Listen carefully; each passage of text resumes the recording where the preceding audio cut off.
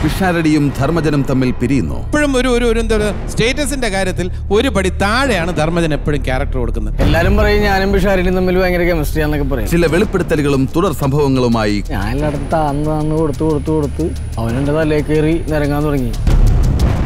എപ്പോൾ കൂടെ നിന്നാൽ ഒരു നിഴൽ പോലെ ഞാൻ കൂടെ ഉണ്ടാവും പറഞ്ഞു. ഉടനെ ഞാൻ പറഞ്ഞു ആ ദൂരെ നോക്കിയ നിഴലാന്ന് തോന്നുള്ളൂ എന്നും പറഞ്ഞു. ഫേസ്ബുക്കിലൂടെ വിഷാരടി ധർമ്മേന് പണി കൊടുത്തു എന്നും പറഞ്ഞ് വ്യൂവേഴ്സിനെ ഉണ്ടാക്കിയിട്ട് എന്നെ നാണം കിടത്തുന്ന പരിപാടി. അത് നടക്കൂല. Comedy star season two. തിങ്കൾ മുതൽ വ്യാഴം വരെ രാത്രി ഒൻപത് മുപ്പതിന്.